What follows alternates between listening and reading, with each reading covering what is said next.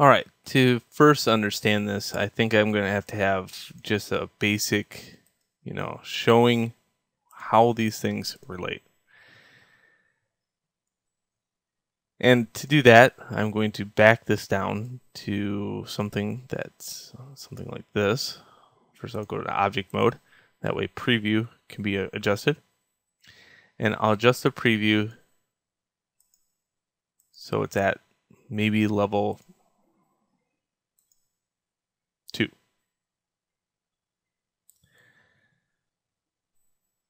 Okay. Now keep in mind that this is my original base mesh. So if I add something to this, it will totally blow up. So please don't ever do that. But now I can use this sort of as my base mesh. I just can't add anything to the original original. I can't add an edge loop anywhere. I can't extrude anything. So just kind of know that. That's the rules. All right. Now, what I'm going to do is go into the camera. And I'm also going to have my UVs showing. Oops. Split area again. Someday I'll write a little thing for that so it just automatically splits. But here, I'm going to have to highlight all my faces and go to Image, New Image. And I'm going to call this Normal Map Example.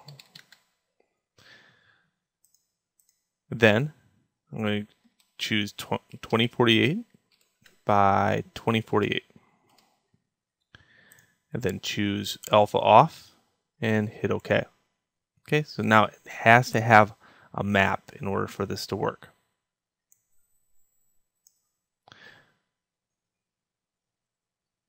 Good. Now, under baking, so under the camera, under bake, I'm going to say bake normals, bake from multi-res, and I'm just going to hit bake.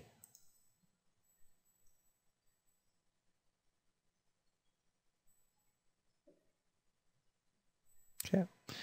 Now, your normals are usually by default not smooth. And if you if you see what this does, if a normal from one surface to the next doesn't have its angle quite right, it's going to produce something like this. So, in order to calculate better normals, all you do is have highlight all your faces and choose shading smooth. Now I like to recalculate and then go shading smooth myself. Okay, let's bake again.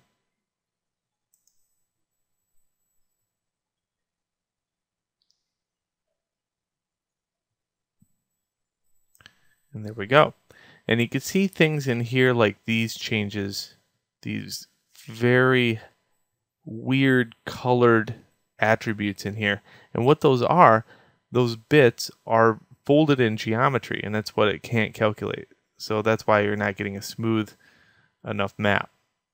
So that's why I said you always have to kind of smooth out the area, then add detail to the form, or you're going to get little bits and pieces like this. Well, to see this uh, real time within Blender, hit N on the keyboard. Well, first off, let's join these areas.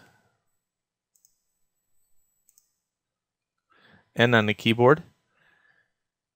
Let's go to display and choose uh, under shading, we're going to choose GLSL. Okay. We still have a little bit of work to do here. We have to make a material. So here's my material tab. I'll call this material uh, something like normal map sample.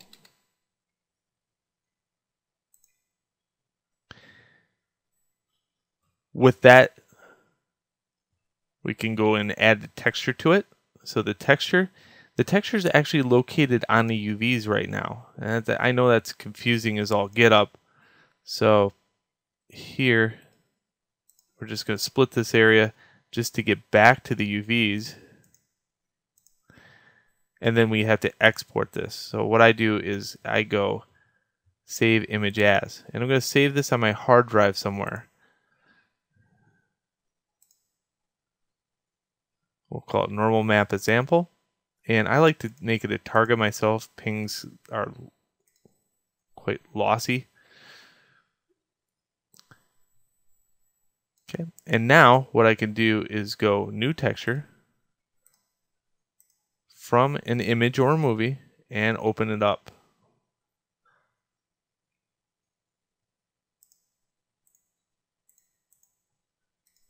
There we go.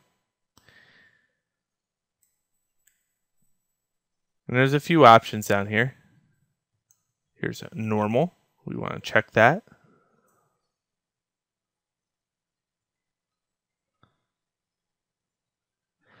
For the coordinates, I like using UV, and then I pick the UV, UV texture. UV texture is from this object. If you only have one object of the scene, you don't have to worry about it. But just know that there might be a few of these in here, and there's a way to rename those. I'll show those later. So and I'll show you the difference between coordinates UV and coordinates generated. Okay, so as you can see here, it's colored. Well, tangent shading. And there is another thing in here. Back on this one.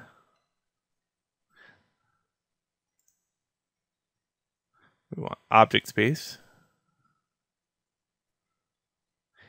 Take off color. Let's preview that material. Let's see what it looks like.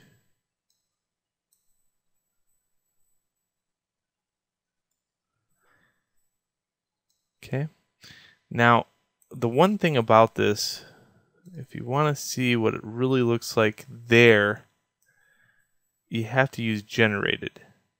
Ah, so if you use generated, go to plane.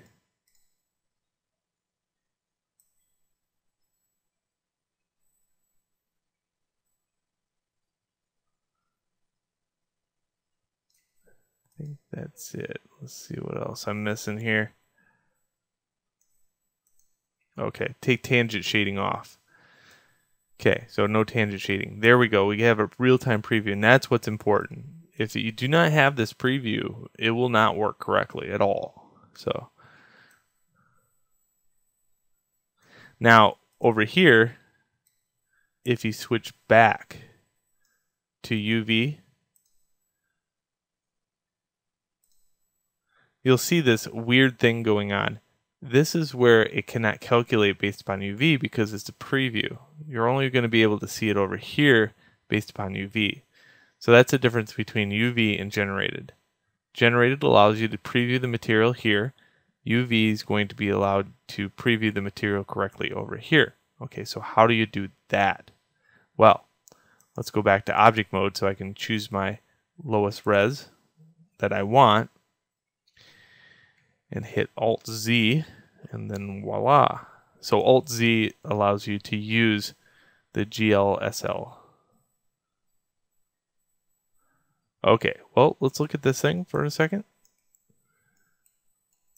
Okay, you can see that all these flat surfaces calculated very correctly.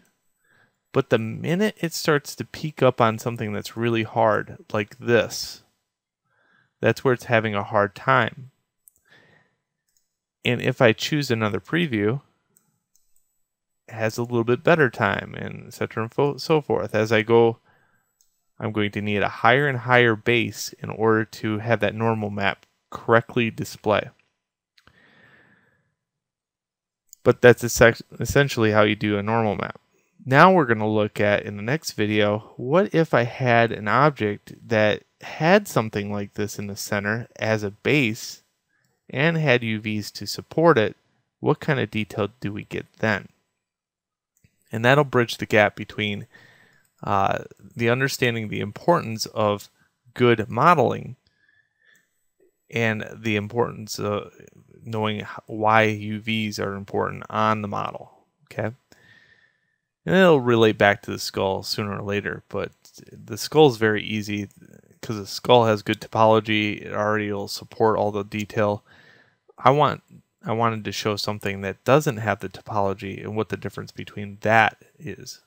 All right, so let's go into the next video where we can learn more.